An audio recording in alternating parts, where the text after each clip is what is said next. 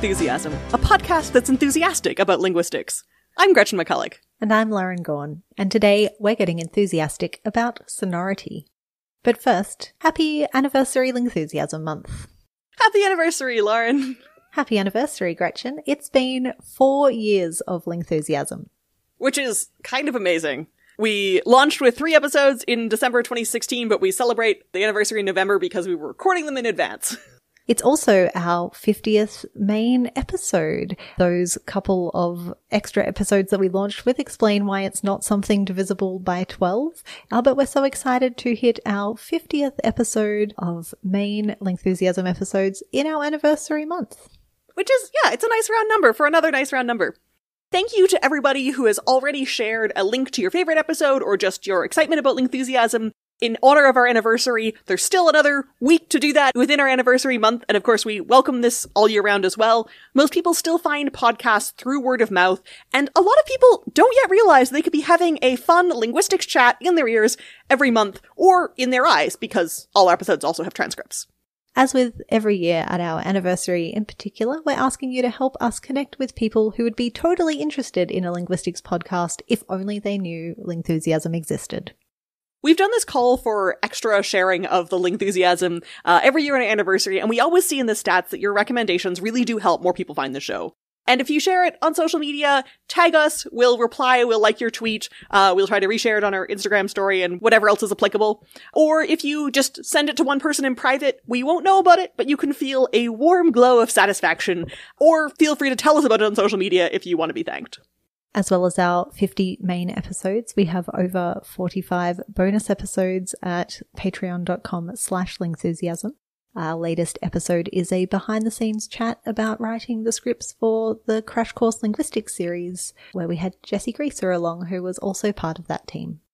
So if you are looking for even more linguistics, we have also been co-writing the scripts for this big educational YouTube channel, which is Crash Course. If you want to watch some videos about linguistics as well, and know that we were behind the words that the host is saying on those scripts. So uh, we're really excited to to share those as well, and to get to share a bit of behind the scenes. You now have the option on Patreon to support at a annual level rather than at a monthly level of support. And you can also choose from a range of currencies now. So there are some more options there. Annual subscriptions make a great last minute gift if you are still thinking about something for the holiday season for yourself or for someone else. And of course, Lingthusiasm merch and copies of Because Internet now in paperback also make great gifts, although you have to keep an eye on timing for whether they can be shipped in time, so digital gifts are also great.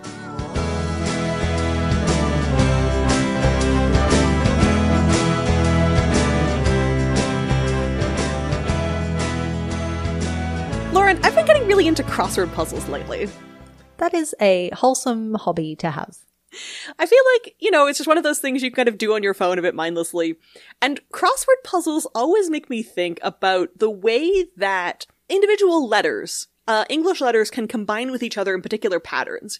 Cause you know, like you're trying to fill in a particular range of words and you're like, that has to be a vowel there. Or like, that could be a vowel or an R or an L. Like there's only so many things that could go in this slot when you're trying to like guess the words you don't know.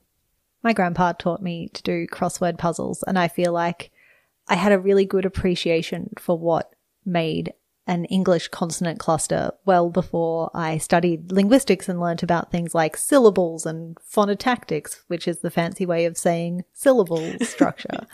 yeah, and like this question of it's not just you know okay I want to cheat at Scrabble or I want to like okay what if I come up with like some some you don't want to cheat you want to optimize your ability to play Scrabble based on your linguistic analysis abilities. Yeah, and I think that's in many cases word games like crossword puzzles or Scrabble are often the the ways people think about okay, which things are more likely to be at the beginning of a syllable or at the end of a syllable, or which kinds of combinations like oh, I've got an S and a T and an R here. Maybe I can make a word that begins with stra, but I'm not going to be able to make a word that begins with like lutrus. And those sorts of things at a very broad level are also the kinds of things that linguists think about when it comes to which types of syllable structures are characteristics of some languages and which ones aren't. We've talked about the International Phonetic Alphabet before, uh, and bits and pieces of it, including just specifically the vowels. And the International Phonetic Alphabet is this way of representing all of the possible sounds in human spoken languages. And there's something about this chart, it, you know, like the periodic table of sounds, it all seems very, all sounds are equal, all sounds have a set of properties, and they're all just there. But when we actually look at how sounds are put together in speech, we find that not all sounds necessarily exist in the same spaces. Yeah, like there's a sense in which there are certain things you can do with certain sounds, at least in English, if we start with English, and then there are things you don't do with them in the other way. So if we think about like words in English can begin with groups of consonants like BR, BL, KR, KL, GL, GR, DR. So like you can often have this sort of R or L in the second position at the beginning of a word.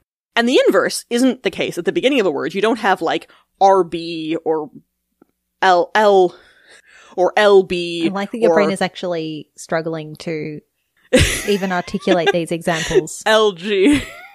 because I'm trying to like move them in my head as I'm doing them. Uh, so you have a word in English like trust hmm or trend, which has tr at the beginning, but you don't have like retus or re-. I can't like I, I have to say that with like three syllables. Retedden, not ten. or you have something like plant, but not ulpatten. And what is a possible combination and order at the start of a word is different to what's a possible combination and order at the end of a word. We talked about this in our episode on syllables.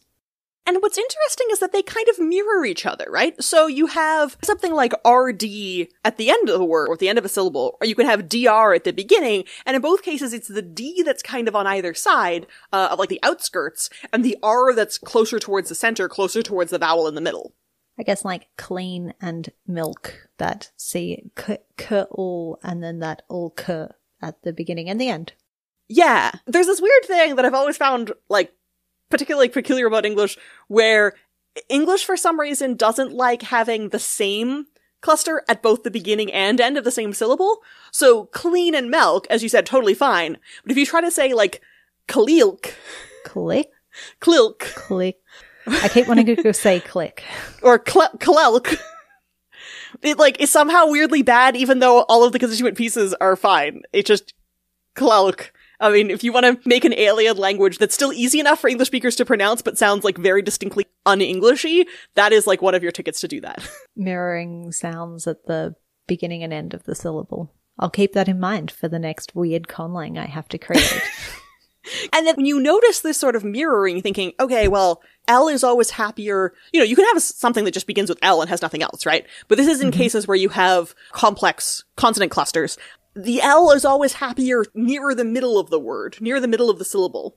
Uh, we're just dealing with single syllable words because it's more straightforward to look at them that way. Because you, you know that all of the sounds have to belong to the same syllable if the word only has one syllable. Um, and then like K is happier on the outskirts. And you can think of it kind of like there's a mountain, right? You know, you have like the vowel is like the peak of your mountain, and then on either side you have so L is like halfway down on both cases, and then K is down in like two different valleys on either side where you, you start in the in the valley with one K, you go up to L, and you go up to the vowel, whatever it is, and then you can go back down to like here's an L or an R or something, and then you're back down with like K and P and B and and all of those letters. and the kinds of letters that hang out at different altitudes on our little mountain walk have similar properties. So maybe we should go for a little hike. Shall we start maybe at the top of the hill? We'll get helicoptered in or maybe take a chairlift, Yeah, let's pretend we've gotten teleported into the to the top of the mountain. which is where our vowels hang out. Vowels having the particular property in how they're produced that you don't close off anything in your squishy meat tube to produce a vowel. You can change the shape of it. That's why we have different vowels, but it's just a continuous airflow situation. Squishy meat tube being the technical term for vocal tract. Um, and vowels are a kind of thing that, like, if you're going to have something in the middle of a syllable, it's most likely to be a vowel. If you only have one thing in a syllable, it tends to be a vowel. It tends to be a vowel. It's not always a vowel. Like, you can say, hmm. And there's just like an M hanging out being a syllable by itself. Um, and that's, that's not a vowel. But for the most part, at least in English, interjections like hmm and shh and stuff like that, those don't have to have vowels in them, but there aren't a lot of words that do this. So you can have a word like hmm in English, but if you have ah and mm together in a single word, the ah is going to grab the syllable spot first. And then descending downhill from vowels. So some of the stuff involved in making diphthongs. So if you want to make something like oi, oi, that's like, oh, you've got two a vowel and also a vowelish thing that you can still kind of clump in with the vowel. I think that'd be our next step down. Mm-hmm. So still very, very open and um, easy to sing, I guess, is a, a feature of this openness. Yeah, your mouth is very open. There's a lot of air still going through. It's easy to sing. And now you've got your L and your R and other kind of L and R like sounds. Uh, different languages do different things with the sounds that we think of as L and R like. These are a really fun catch all category. We may have to talk about R sounds one day. We have to do a whole episode about L's and or R's because there's a whole lot going on with them. So, and they still have a fair bit of openness. You can think of like la. l- There's still kind of a fair bit of air leaving your mouth uh, while you're making. l- You can try it and really confuse the people around you. yeah, so that's kind of like the next step down a mountain. I feel like we're now in like mountain goat territory rather than like snow caps or something. I don't know how mountains Yeah, work. Definitely near the tree line. okay. You know much more about mountains than I do. um, and then you've got your mm and mm, all of your nasal sounds that are, you know, you've kind of got a certain amount of closure in your mouth, but your nose is sort of making up for it. Still fun singy sounds if you hum along to some music. Yeah, still extremely hummable. And then you've got your sounds that you can still say kind of by themselves, like shh and s and f and z and stuff like this. You can still say them by themselves without another vowel to come along helping them. And you can think about this if you have like freeze, you have F and then R, and so you're kind of heading up the mountain towards the middle vowel and then heading back down with the Z. So you can kind of go through and think about, okay, what's a bunch of like monosyllabic English words with multiple consonants at the beginning or end? How can I sort of reconstruct for myself which bits should be on which parts of the scale? Another example from uh, when we were talking before about meat tubes would be flesh. Flesh. um, and then finally you've got your, you know, P's and B's and K, G, T, D really hang out at the bottom where you can't make these without fully closing off the mouth for at least a, you know, split second. In fact, the only way we can really tell which sound you're making very easily is because you stick a vowel there to help us hear the difference between a p and a t. Yeah, this is the thing that really blew my mind when I was learning about sounds like this where you fully close off the air. Is that like, what's actually going on here is you're just hearing silence and your brain is like, oh no, you're hearing a P because like it makes the following vowel P-like. But like actually what's there when you feel like you're making it is just like this brief split second of silence and you can see it show up on a waveform. But like, just, just nothing coming out. It's a very exciting, very dynamic little valley that we're in, all these stoppy sounds. Yeah, these nice little staccatos like popping off like firecrackers or something. You'd think you could put your firecrackers on the top of the mountains, people could see them better, but that's not how. that's not what our metaphor is doing. it's not how this metaphor is going at all. Well, you could think, well, what if we put those firecrackery, like explosive sounds at a top of a different metaphorical mountain? But one thing that's also relevant is that this is also a degree of loudness. Like you can make the sounds at the top of the mountain louder than you can make the sounds at the bottom. So it's partly about their openness and how easy they are to sing, but there's also something to do with loudness happening here. Well, I think when your mouth is more open, you can be more loud with it. Like if you think about if you need to scream, you're not going to scream like or if you're trying to like really do some like vocal warm up exercises, you're going to be like ah or something. You're not going to be like Pa pa pa pa pa pa pa. I mean, I guess you you could do that. That is that is true. But it's really the vowel happening there, not the pa. It's not if you're trying to like be really loud and really project, you're doing that with the vowels and the like the ones that are closer up on the vowel mountain. So if you think about the mountain as kind of a, a loudness amplitude mountain, hmm. the louder stuff is on top. All of these different points along our walk down the mountain have been visiting different ways that we use the mechanics of the mouth to make sounds, which is something that linguists refer to as manner of articulation. And it's one of those features that's represented in the International Phonetic Alphabet. Yeah, and the International Phonetic Alphabet kind of does the inverse metaphor where they put the most closed ones at the top and then they go gradually down until the most open ones. So you have to kind of flip it upside down to get the mountain, but they're still sort of doing this, you know, sounds exist in a continuum from how open or how closed or how singable or how unsingable they are. And that's relevant not just in terms of like, okay, how can we describe them, but in terms of how can we put a word together? What happens when you're trying to put a syllable together? Languages tend to have this preference, which shows up across a lot of different languages for making a syllable that has like one mountaintop and its peak, even if it doesn't contain absolutely every single point along that path, because that would probably be too heavy of a syllable for most purposes. But if you're going to pick stuff from along that path, you're going to do that in a particular order. This comes in handy when you're trying to make up plausible non-words as well. So, blick is a, you know, plausible non-word in English. Doesn't, it's not really a word as far as I know, but it could be. Someone could have a startup called Blick and you'd be like, oh yeah, that's a, that's a thing. I think it's the word for blink in German. Oh yeah, I think it is. Like an Augenblick. Which is always why it's very good to uh, double check if your nonsense words in one language are in fact nonsense words in another language if you're expanding your analysis. yeah, if you're starting up a startup, I don't think that's offensive to German speakers, but you you do want to double check these things. um, want to check. Yeah. Uh, whereas something like Ulbik has that mm. LB in the other order, and suddenly you're like, hmm. Blick isn't a word, but Ulbik is like very not a word in English. And I feel, even with my limited knowledge of sounds in German, I feel confident that it's not a word in German either. with my slightly greater but still not particularly good knowledge German, I also feel very confident in saying this. Um, but yeah, so you can use it to create plausible non-words versus implausible non-words. And that's because those stoppy sounds are right in the valley at the edge of our little peak of sounds that we toured. Yeah, so you'd be like starting up midway up the mountain, then you're going down and then back up again. And that's just like not a thing that languages like to do. They want to do a kind of smooth path. Languages are like me when it comes to climbing a mountain, trying to do it with as little effort as possible. well, but I actually think this is an effort thing, not just in a metaphorical sense, right? Because it is an openness of the mouth. And if you think about humans trying to conserve energy in like terms of pronouncing things, it's easier to kind of do a smoother motion of like my mouth is closed and then it's somewhat open and then it's really open and then it's somewhat closed and then it's closed again. Like that's a smoother thing for humans to do gradually over hundreds and thousands of years to actually produce. Have these preferences for sure. Yeah. Yeah, it's not as much effort as climbing a mountain, but you know, if you're talking for hours and hours, it would kind of pay off.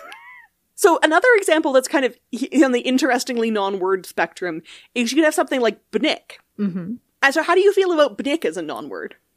Uh, is it like the name of a dish from a language other than English that is going to be really tasty and I'm going to love it?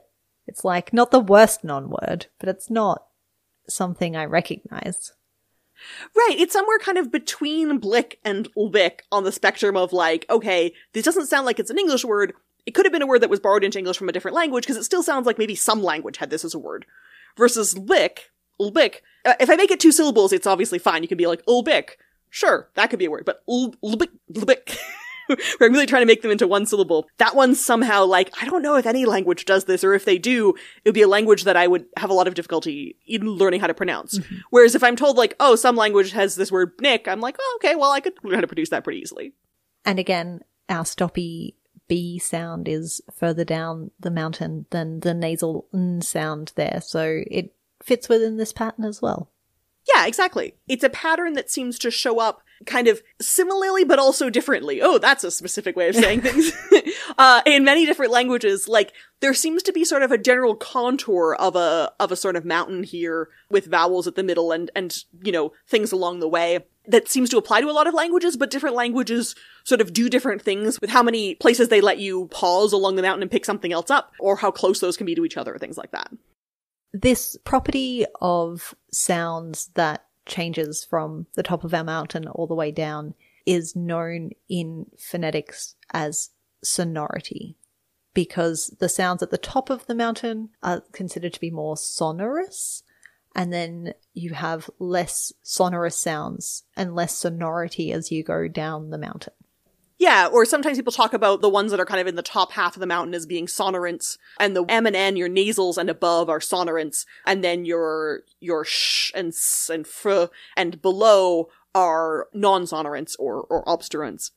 I think maybe linguists got tired of saying, well, it's kind of like singable and it's kind of like, you know, how open your mouth is. It's kind of like this thing. What if we gave this property a name and we called it sonorous? Even though like sonority is one of those really interesting concepts to me because when you first encounter it, you're like, wow, this explains everything.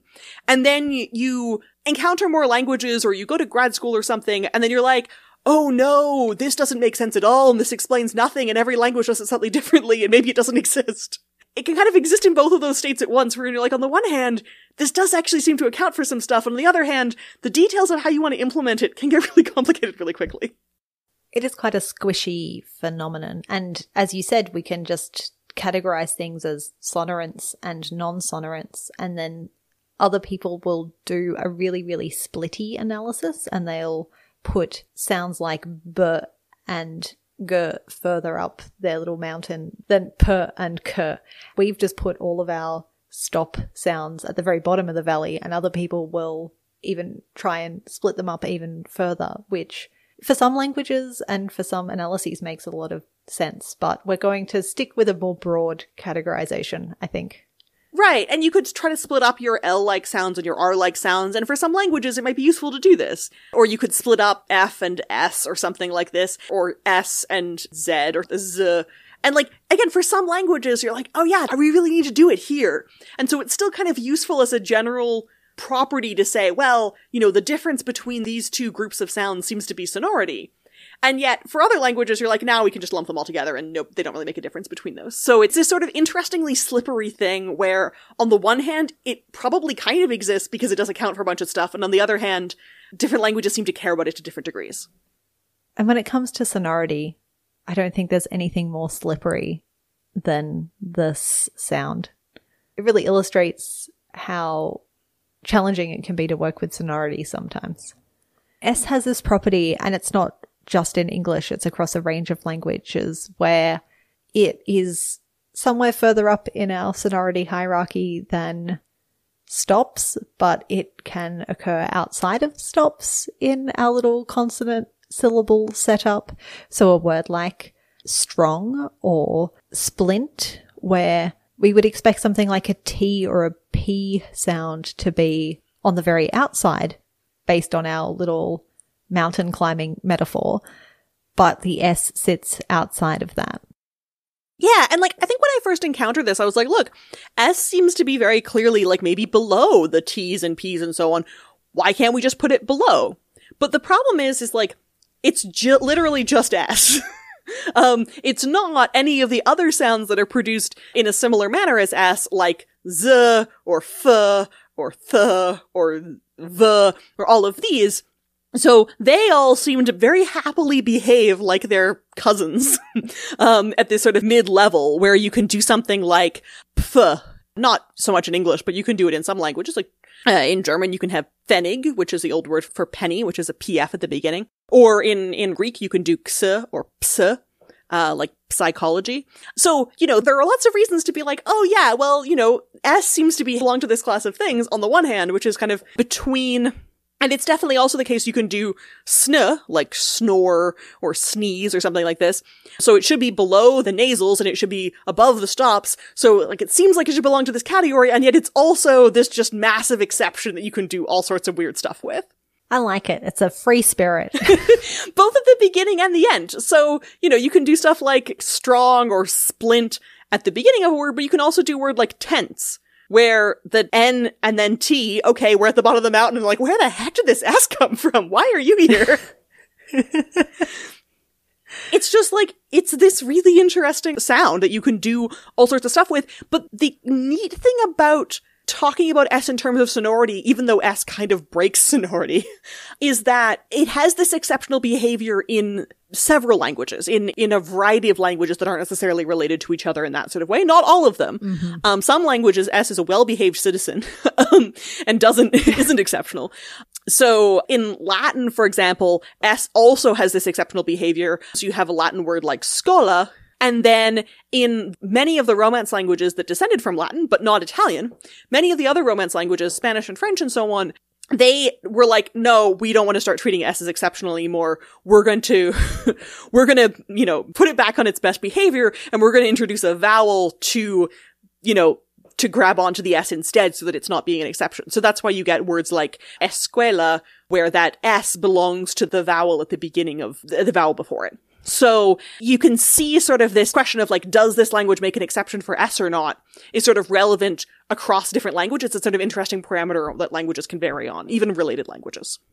I like how much sonority is providing motivation for quite a few of the examples we talked about in our syllables episode because it is one of those things that once you begin to see it pop up, it explains or it hangs out in the space of a lot of the ordering phenomena that we looked at for that episode. Yeah, it was an almost an interesting challenge in the syllables episode to not talk about sonority because we thought, okay, we should introduce one thing at a time. But also, sonority is sort of intimately tied up with how do we make syllables and what does a particular language think of as a syllable and, and not a syllable. So in English, one thing that's kind of the case is when you're kind of, you know, climbing up the sonority mountain, do you think of it kind of like a video game and you have like a certain number of slots to like hold things in, mm-hmm. but you need to sort of wait a bit before you pick up something new because you don't, you don't just get to like keep picking up everything like all the way, even though it's all kind of on the way. So if you pick up, let's say a P, you can't also pick up a T at the same time while you're down there. English is like, no, we, we don't have any more slots until we get a bit further up. But in Greek, you can pick up a P and a T at the same time because it's got sort of a different, you know, like video game metaphor holding, you know, uh, system. Not that the language thinks of it that way, but you know. Uh, it's operating with different constraints. Absolutely. It's operating with different constraints. So in, in Greek, you get words like pter, which, which refers to a wing. It's a, it's a root that means wing, which shows up in words like helicopter, helicopter, and in Greek, pter is a totally good beginning of a syllable. And you see it in words like pterodactyl, which English speakers don't pronounce that way because English doesn't let you do that. Um, or Ptolemy, which again, English speakers don't pronounce that way. Ptolemy or pterodactyl.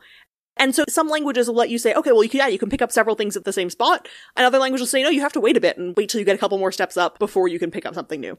Russian lets you pick up things that are a little bit closer to each other. Mm. So you can have a word that begins with x in Russian or vl.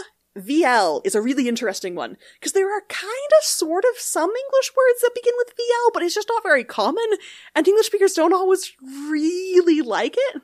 So you have like vlog, but a lot of English speakers will pronounce that a little bit closer to blog or like vlog. Vlog. Well, and like, and you can have fla, and like fly, flee, fl, you know, flim, flam, like, you know, lots of flas in English. But vla is just like a little bit like you can kind of do it, but you can't quite put your finger on why it doesn't feel very common. If I had a crossword puzzle that was blank L, blank blank, I would not be reaching for a V at the start of that word straight up. Absolutely. No, no, no, it would not be what you'd be, what you'd be inclined to go for. And so you sometimes see English speakers pronouncing vlog like vlog just to make it a little bit easier, or with Russian names like Vlad saying it Vlad just to make it a little bit easier to do that because that one's kind of like, it's kind of there. In English, but it's a little bit marginal, similar to like Bnick, where you could kind of do it in English, but it's like a little bit difficult for you because it's not something that the language does a lot.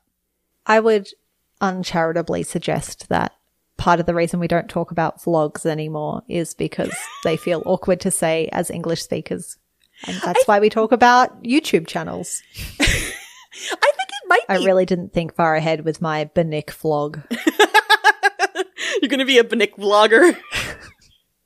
really just making it not entirely wrong, but slightly awkward for English speakers. I mean, I will say that we have a pretty phonotactically weird cluster in the name of our podcast. This is true. we were finally admitting it four years in. Like, ling enthusiasm. Like, they belong to different syllables, but they're just done with such distinct places in the mouth that, like, people have a really hard time saying our name. We didn't think that through. Different places and different manners. There is a little bit of stuff that I've read about the influence of sonority preferences across syllables. We meet the requirement. Normally you have something that's more sonorous at the end of the first syllable than at the beginning of the second syllable. So we got that oh, bit. Okay. Good. So we've got mm at the first syllable and then th at the next one and like the, but they're just like one away from each other kind of. So they're not that far. On the topic of names in this show, Gretchen. well, it's interesting. And I can also sometimes tell when people have said the name Gretchen a lot because for me, because I tend to reduce that final en to just mm, Gretchen.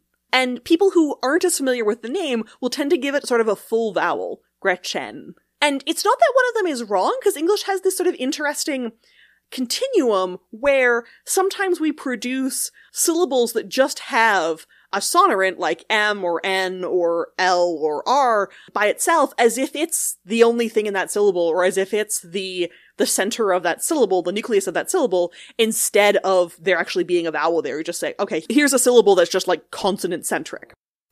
Yes, so even though vowels are at the top of our sonority mountain and you usually expect to find a vowel hanging out in the middle of any syllable party, it's not always the case. We can have one of our other sonorant sounds being the uh, the syllable boss. Is that our official terminology? Yeah, so if you have words like button, bottle, prism, like even rhythm, like where where is the vowel? No, okay, no vowel. No, okay, fine. sure. And so sometimes you kind of don't go all the way up the mountain, you just like go up to a certain point and you're like, yeah, that's fine, I'm going to go back down. Yeah, it's interesting that some like button when I pronounce them with clear, full articulation, I put a vowel there, but I'm pretty sure that if I was just Baton. button, Baton. Button. but if I was just talking about how I had to press all these buttons really quickly, Yeah. there you go. If I force myself into unmonitored speech, I'd just pronounce it as an n syllable as, or a syllabic nasal. It's interesting how f- for some of them we only do it as a reduction thing, but then for prism, I don't think there might be like a tiny vowelish thing there, but Yeah, if you're really trying to spell it out, like go get the prism, you could maybe put a vowel there, but I think it would really sound like you were hyper articulating that. Whereas bottle, you could say it with a full vowel there and it would be fine. Yeah. So in English, they have this kind of semi autonomous sonorant non vowel syllable status, but uh, it's not necessarily the case for all languages. There are some languages where you do get these vowelless syllables fairly frequently and centrally.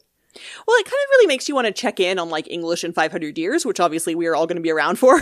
um, because like maybe by that point, this, you know, casual speech, unmonitored speech, rapid speech pronunciation will just like be how it is. And English will have this like full featured set of like, oh yeah, these are just our syllabic consonants that nobody ever says button. That sounds so weird. Everyone says button all the time because like that's how, that's how language change happens, right?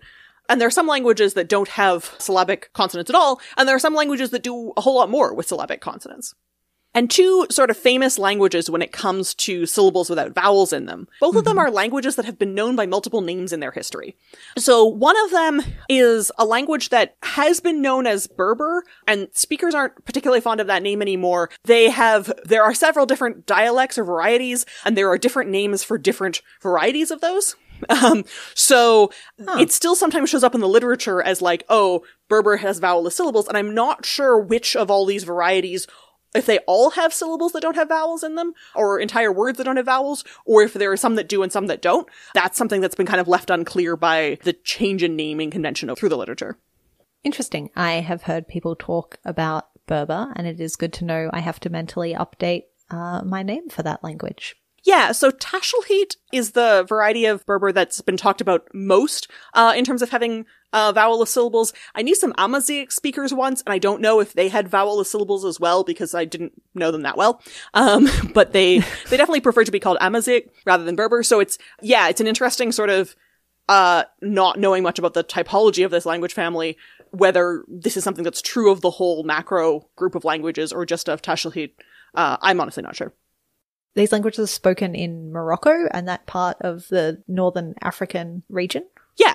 And then in another part of the world, another language that's often cited as a language that has syllables without vowels at all or words without vowels um, is Nuxalk, which is a Salishan language spoken in British Columbia in Canada.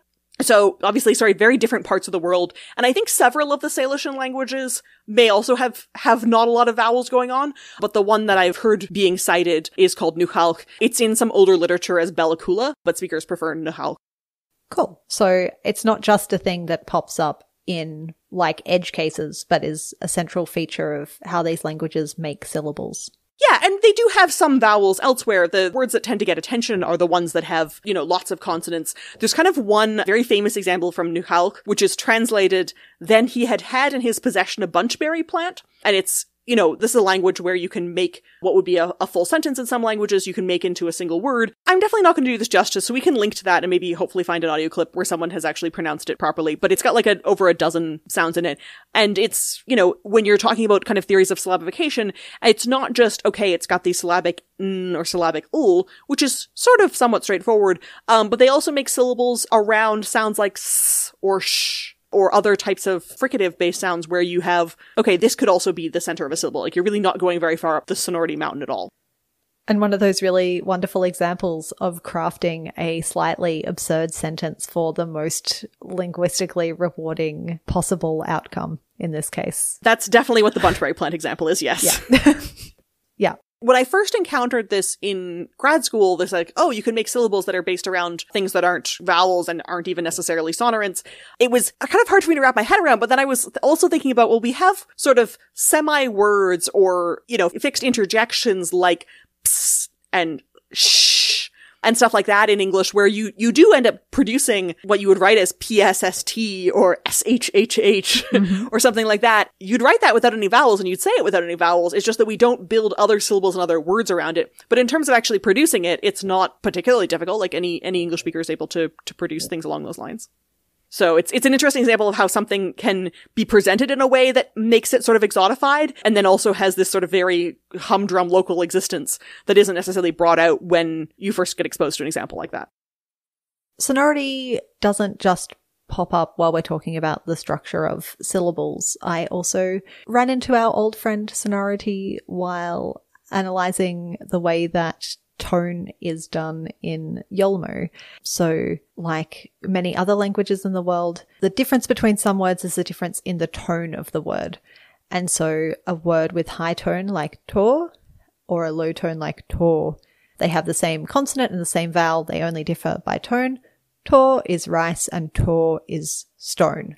So, obviously, even for someone who is not always good at producing tone like me, people generally knew if I wanted to eat more rice, and didn't try and give me stones because people are very accommodating. nice, yeah. um, but not all of the sounds in the language have high and low tone. Some only have high oh. and some only have low. And oh, interesting. The ones that do have both are those that begin with or are only vowels or laterals or rhotics or nasals, and also our fricative S. So almost everything that has high and low tone are relatively high up the sonority mountain. Of course, from then on, it all gets a bit messier. You also get k and um, ch in there as well. And then you only get low tone on your voiced z and g and j, and high on your very aspirant k and ch and hl. But overall, uh, friend sonority just kind of pops by and says hello. So the stuff that's more sonorous has kind of more tone options, and for the stuff that's less sonorous, it's either one or the other, kind of as a very broad generalization. And how you split off that one or the other depends on some other factors. Yeah. But sonority is kind of a piece of that puzzle. Yeah. The tone system came out of some older consonant clusters, like English has lots of clustery sounds. You get fewer of those in these Tibetan languages as they're spoken today. And that's what the tone system came out of. So it could just be a bit of a, a coincidence that this reduction in the consonant clusters and the current sonority kind of play out in the tone system. But I mean, this is a thing about sonority. It kind of pops up and is kind of part of the explanation of things, but then there are lots of other historical or contextual factors in each specific language that are also are in play. Right. And like on the one hand, you want to be like, look, sonority, it's kind of fake because like, yeah, you have these languages with vowelless syllables and you have languages that like don't pay attention to it and do it in all sorts of different ways. And then sometimes. And you have S in English. And you have S in English, which just like, who knows? But then also sometimes it sort of pops up in, in places where you weren't expecting it and you're like, oh, this is actually generalization that actually kind of helps with this particular bit of analysis ah, maybe we still want to have sonority after all.